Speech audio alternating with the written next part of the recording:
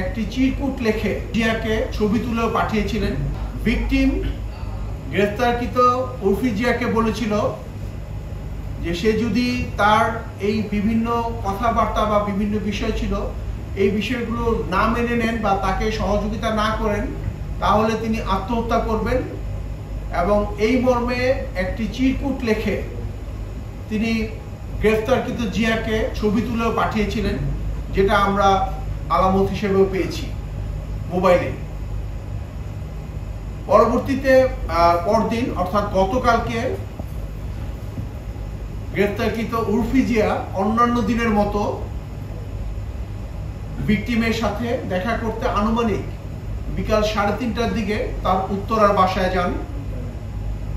বাসার দরজা স্বাভাবিকভাবেই বাসায় থাকা সেই মেকআপ ম্যান মিহির, উনি খুলে দেন। এবং বাসায় যাওয়ার পরে বিভিন্ন ইস্যু নিয়ে তাদের মধ্যে কথা কাটাকাটি এবং বাক বিতণ্ড হয়।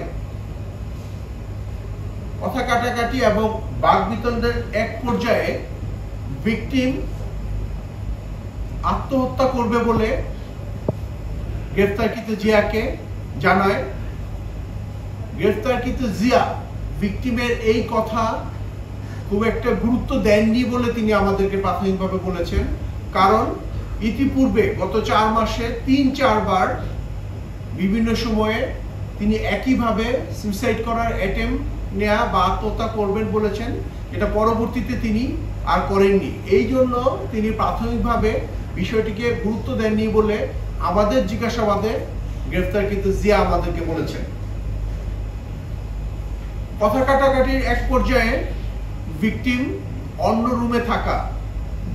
একটি মই নিয়ে আসে এবং ভিকটিমের রুমে কোনো সিলিং ফ্যান ছিল না বাট সিলিং ফ্যান ঝুলানোর জন্য যে লোহা, সেই লোহা ছিল এবং সেই লোহাতে আগে থেকেই একটি প্লাস্টিকের রশি আত্মহত্যা করার মতো সেটি বাধা ছিল।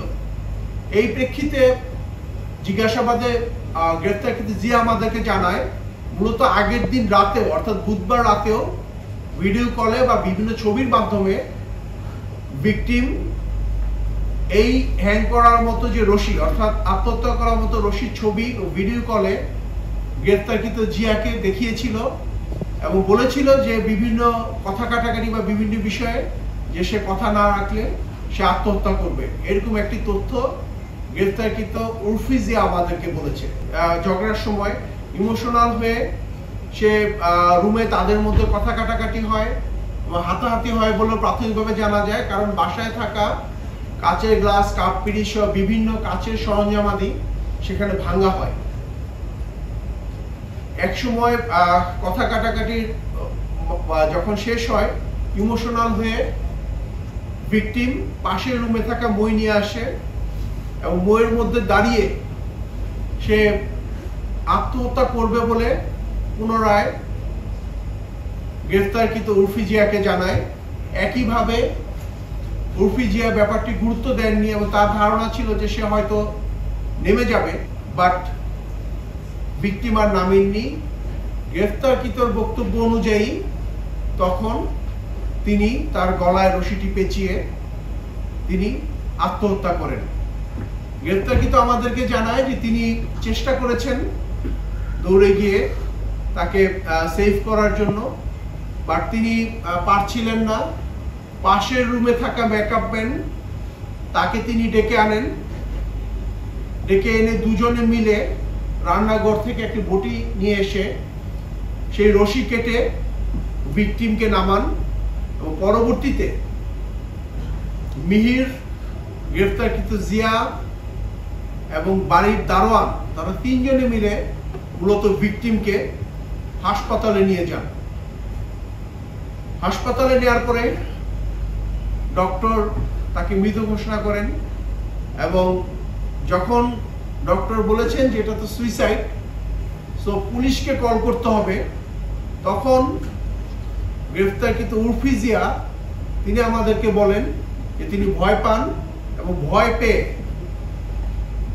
ভিকটিমের দুটি মোবাইল এবং ভিকটিমের গাড়ি। এখানে উল্লেখ্য ভিকটিম সেই উত্তরার যে ফ্ল্যাটে বসবাস করতেন, সেই ফ্ল্যাটটি তার নিজের এবং তার নিজের একটি প্রাইভেট কারও ছিল দু হাজার দশ মডেলের একটি গাড়ি ছিল। সো এই ভিকটিমের গাড়ি নিয়েই তারা হাসপাতালে গিয়েছিল। পরবর্তীতে সেই গাড়িটি এবং ভিকটিমের ব্যবহৃত দুটি মোবাইল নিয়ে তিনি হাসপাতাল থেকে পালিয়ে যান। প্রাথমিকভাবে আমরা যখন তাকে জিজ্ঞাসা করেছিলাম যে তিনি ভিকটিমের মোবাইল ফোন নিয়ে কেন পালিয়ে গেলেন তখন তিনি আমাদেরকে বলেছেন যে যেই মোবাইল ফোন একটি আইফোন ফিফটিন লেটেস্ট মডেলের বা আরেকটি ফোন এই মোবাইল ফোনগুলো তিনি বিক্রি করার পরিকল্পনা করেছিলেন আহ, গ্রেপ্তারকৃতদের বিরুদ্ধে আইনানুগ ব্যবস্থা প্রক্রিয়া দিন